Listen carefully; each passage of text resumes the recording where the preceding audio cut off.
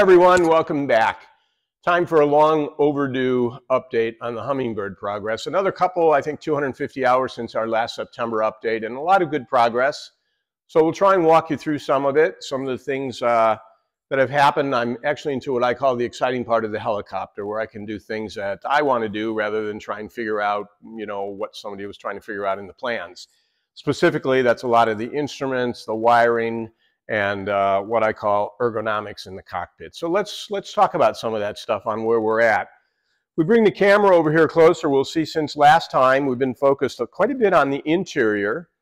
Uh, Carol's actually managed to get a lot of the carpeting done. The whole floor area is complete. Uh, this is um, FAA approved fire flame proof fabric.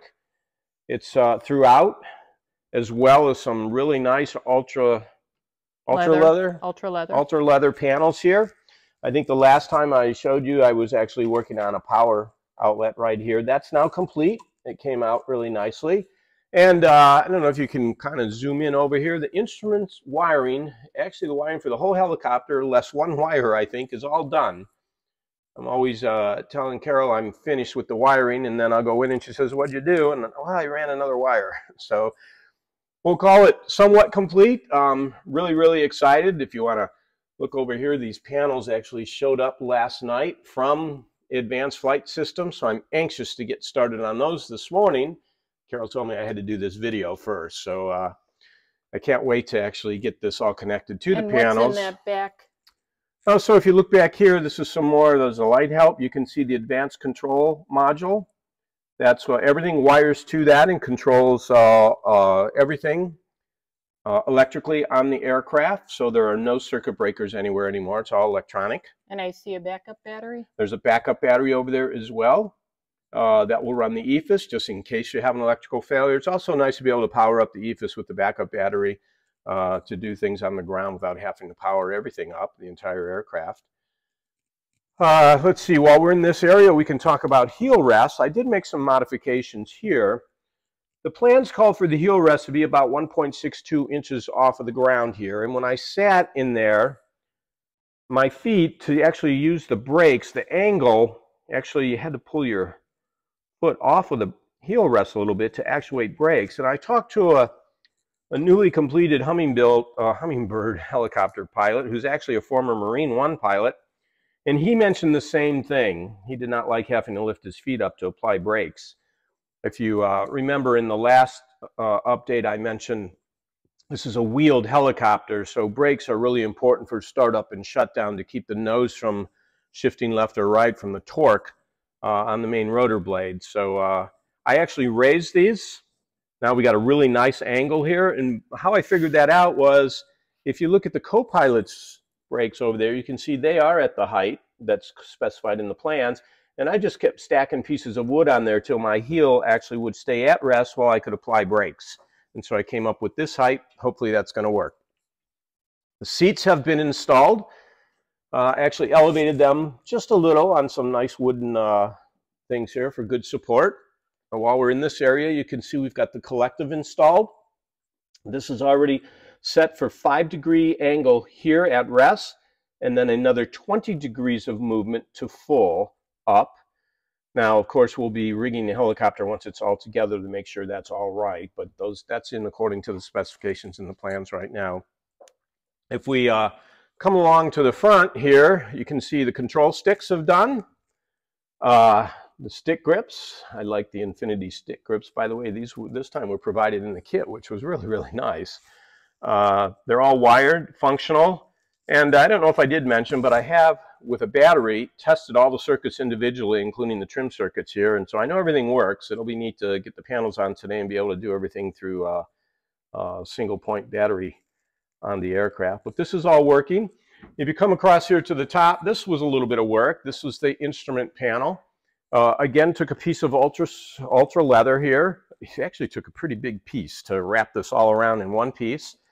And then I vented it with some snap rings. This being black, and you've got all this open uh, windshield here. The sun hitting this is definitely going to get hot. So I vented it with uh, about about uh, 14 or so snap rings. And one of the things I did with these snap rings, if you can see here, they're, they're kind of dull on top. I've done this same thing in some of my other airplanes to vent the instruments. And, uh, I, I, you know, these are kind of shiny on top the way they come out of the box. So I took some emery cloth and Scotch-Brite and dulled them. It should hopefully stop the reflection uh, in the windscreen there. Let's see, the pitot tube here is installed and plumbed. I don't know if we had that in last time. Uh, I have leak checked the static system. It is type free. So that's pretty exciting. Okay, so now let's talk about some of the other things we've uh, managed to accomplish here. All four doors have been fitted. Uh, not exactly happy with the perfect, they're not a perfect fit. I've been spending a lot of time working on them, trying to get them there. Uh, and eventually, hopefully, they will get there. They're fiberglass doors uh, on a metal frame, so just the, the perfect match fit here is starting to come together a lot of heat gun usage. Uh, here you can see the mechanism to open the door and close the door. This work came out very nicely. One of the things I did here to make a nice door handle is I took a stainless steel AN bolt, chucked it in the drill press, and then with a file ground off the hex head, so it made a nice little round head on there. So that works out nicely. And I've kind of protected the fiberglass here with this uh, nice aluminum plate. So that all works very nicely. You can see that. Okay. Things will work much easier when the thing is finally finished. Right now we don't put any lubricants anywhere because we haven't painted yet. Also for ventilation, stole an idea from Van's, use some of the vent kits that we use on the RV-10, which work very, very nicely. Uh, so hopefully we'll get some adequate ventilation here in the back and the front uh, door, which uh, unfortunately don't have on right now. Uh, we also have a vent here and a snap vent in the window, so we should get plenty of ventilation. And then it is a helicopter, so we do get to fly with the doors off in the summertime. So that will be very, very nice. Uh, let's see, nav lights are on. We have showed you that last time. So coming around to the rear here now, you can see the engine compartment is just waiting on a Lycoming engine, which Lycoming Thunderbolt Division tells me they're starting either this week or next week. So hopefully I'm going to have that within a few weeks here. But everything has been wired, all the sensors, uh, everything is wired back here. Fuel pumps are installed, all the pressure senders, uh, pulleys, cables, hoses, uh, oil tank here, and the engine mount is uh, on. We're just waiting on that engine. I can't wait to get that. Once we get that engine here, we'll make a lot of progress in this engine compartment with the baffling. I have built the clutch assembly already. We'll show that to you in a bit. If you can zoom in here, uh, you'll see this is the coupling that goes to the engine via the clutch. And right up here, we've got a rotor brake. It's really nice to have a rotor brake because when you shut down a helicopter, the blades kind of spin for a very long time. And it is a little bit dangerous. You want to stay by the helicopter till they quit spinning. This one has a nice rotor brake on it, so we can shut that down from inside the cockpit. If you can zoom in on that, I'll show how it works. We actually have a working uh, cable connection here. I've got the rotor brake handle installed. So you can see right there is that brake kind of catches this. Now this won't turn anymore. And so we'll take the rotor brake off. And you'll see that this in fact now turns the whole transmission. So that works very, very nicely. It's nice to see some working parts at this stage. Uh, let's see, am I missing anything here from since the last time? We do have throttle cables as well. Have to install the mixture cable. I was waiting on the instrument panels to get here for that. And uh, why don't we go grab the clutch assembly and we'll show that. So here's the clutch assembly, uh, which is also the cooling fan. So it's a helicopter with an air-cooled engine. We don't have a propeller supplying cooling air to the engine. So you've got these fan blades, much like the radiator setup in your car. The uh, fan blades. Same, same concept here. But this is also the clutch assembly. What happens here is this is connected to that coupling that I showed you a little bit ago on the helicopter. This whole fan is spinning whenever the engine is running, okay? Um, and that's keeping the engine cool on the ground. You can see this is freewheeling. This is the clutch portion. So we'll show you a still picture uh, within this video. Inside here are 12 plates, much like brake shoes. Centrifugal force, right around 1800 RPMs, forces them out and then engages the clutch. So it, it, it, you know, just makes this tight to the engine. And then this turns and everything on the helicopter turns. The rotors through the transmission, and then there's also a tail rotor uh, line to go to the tail rotor transmission. There's also a sprag clutch right inside this front portion here, such that if the engine does quit, it allows the blades to freewheel for an auto rotation. So this thing's very heavy. It took about a day and a half to do. Let me show you, I don't know if you can zoom in here on the back side. Can you see the safety wire here? Does that show up or do we need Yes. a light on it? It shows No, up? It shows up. All right, I like this. It's, uh, you know, this thing came balanced. I'm trying to keep it somewhat light and balanced, but this is safety cable. Instead of having to put safety wire through there and twist it all up, uh, this 32,000 safety cable works very, very nicely. You feed it through, and then you attach a ferrule on the uh, end point, make sure it's tight and uh, crimps, so adds very little weight. hope- And hopefully does that require a special tool? It does require a special tool to do that. Uh, matter of fact, we'll get a picture of that here in a bit. I'll show you. Tool that I mentioned uh, when we were doing the clutch over there, it's made by uh, Bergen Cable Company. Uh, yeah, it's a little bit pricey, but boy, it saves a lot of time from doing safety wire. And as you saw, we can save a lot of weight there. Basically, you have these cables. In this case, they're 32 thousandths. They have a ferrule attached at one end already. I actually grabbed a used one here. Let's go, let me grab one that's not used. Okay, we'll grab one right here. They come in a packet. Okay, and so you can see the cables here. I don't know if you can see that. They've got one a ferrule attached at one end already. So you feed that through the bolts or anything that you want a safety wire. Matter of fact, we'll show you another place I used it on the end of the helicopter here. And then what you do is uh, ferrules for the other end come in a little tube. So you feed the wire through the tube and then through the end of this tool and you pull it tight. And when you crimp, squeeze this handle, it crimps the ferrule onto the end and cuts the cable very nicely. Uh, we can walk around here slowly and I'll show you where I used one externally. So here you can see where I use the safety cable external. I think it looks a whole lot cleaner than safety wire. Uh, it just, as I said, you can see a ferrule at one end where you start it, feed the cable through, come up this side, feed it through again, put the ferrule on and crimp it with this. This just goes right over top, squeeze it, it crimps the ferrule and cuts the cable. It does a really nice job. And so you can use that like on propeller bolts? Yes, we do, as a matter of fact. As long as you use the proper size. These come in 20 and 32 thousandths, uh, and I think 40 thousandths as well, but we will use them. Uh, anywhere you can use uh, safety wire, you can use these.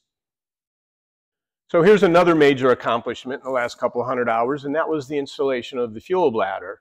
So fuel bladder concepts were kind of new to me. All the airplanes that I've built so far have either had metal uh, tanks that have been done with Pro Seal as you rivet them together, or fiberglass tanks in the case of the Kitfox and the Just SuperSTOL. So uh, bladder here in the Hummingbird is a 57 gallon bladder. It sits underneath the rear seats. It's surrounded by puncture-proof uh, some kind of fiberglass material it's called. So it said if you do get a puncture somewhere on the sides of the fuel tank, it's protected from rupture in case of, so you don't get a fire or something there in a fuel leak. So, uh, you know, we got all those in there on the side. That took some time. The other thing that took a lot of time, let me grab this roll of duct tape to show you, is, you know, with with bladders, you want to make certain that when you put them inside here, you don't have them rubbing against any protruding uh, anything okay? Lots of rivets were used in the assembly of this thing, as well as if you come around the back side here and look on the firewall, you can see a lot of bolt penetrations into the fuel cavity down there. So we've got a lot of nut plates and a lot of protruding heads. So you want to protect that. We used a whole roll of this uh, duct tape, very high quality duct tape, multiple layers over top of everything so that uh, nothing's going to rub on that bladder. And then before you put the bladder in, you clean up that very, very well. Uh, you can understand all the metal filings from building a metal aircraft there. And then use some uh, Johnson's baby powder or talc powder. And, uh, and so it's nice and free in there and that rubber fuel bladder can sit there and move around. You got to stuff it in there. There's Velcro in various places along the top and sides to hold it in place when it's empty. Uh, obviously, when you fill it up, it should uh, stay in shape. And then you can see there's lots of covers here on the inside. Uh, you know, a lot of these were just to get your hands in there to work around. You've got the, the fuel entry point here, filler neck. Here are the covers. This is the fuel sender. I use Pro Seal when I put these on so they don't leak. There's another cover underneath that seat. And speaking of seats, are you getting a good picture of that seat? Carol's been just as busy on the seats. I think both back seats are completed, right? Yes. They are super comfortable. And I can't wait to get the front seats in so I can sit and play. Um, but that's the progress that we've made there. So I won't know if anything leaks yet till we put some fuel in it, but gonna, we're going to wait till after paint before we do that. All right, taking a look at the belly down here, it gets kind of complicated underneath this helicopter. You can see the routing here from the anti-torque cables uh, through the phenolic here to protect them on the belly, going back, and then they route to another pulley there on the firewall. We come forward a little bit here. You can see where the throttle cable and the rotor brake cable exit the aircraft. Uh, we still have to put in a mixture cable and route the brake lines. I'm going to wait till after paint to do the brake lines because they're, they're the clear plastic stuff. Uh, if you look over here, you can see on the fuel system, I've added a quick drain there out the side of the aircraft to make it a little easier to get to. Uh, coming forward here, you can see transponder antenna. Let's see if we can get that to focus a little better. There's a transponder antenna, as well as an OAT probe right there, and a fly LED beacon. And uh, we've put a fly LED beacon on top as well, and then a narrow LED strobe light on the tail. Uh, so you going back here, you can see the ADS-B antenna. And let's see if we can get a decent shot here of the fuel output. Doesn't look like it, but anyway, there's the bottom of the uh, fuel tank. Let me go around there and see if I can get a better picture of that. So here's the uh, where the uh, fuel bladder exits the aircraft. You can see there's one big line going to the back to the gascolator. And then I added another line here to come out for a fuel drain. There's a quick drain for pre-flight. And then I made one other modification here that you can see is I've added a fuel cutoff valve that's controllable from the cockpit. There were no provisions for a fuel cutoff valve in the kit. And, uh, you know, for two reasons. One, for maintenance, I'd like to be able to turn off the fuel from the tank, as well as, you know, hopefully never have a, a, a engine fire. It's fire, it's firewall rearward here in the helicopter, but I want to be able to turn off the fuel to that part of the aircraft if anything were to go wrong. So uh, I've got to add the cable yet, but uh, that's all installed as well.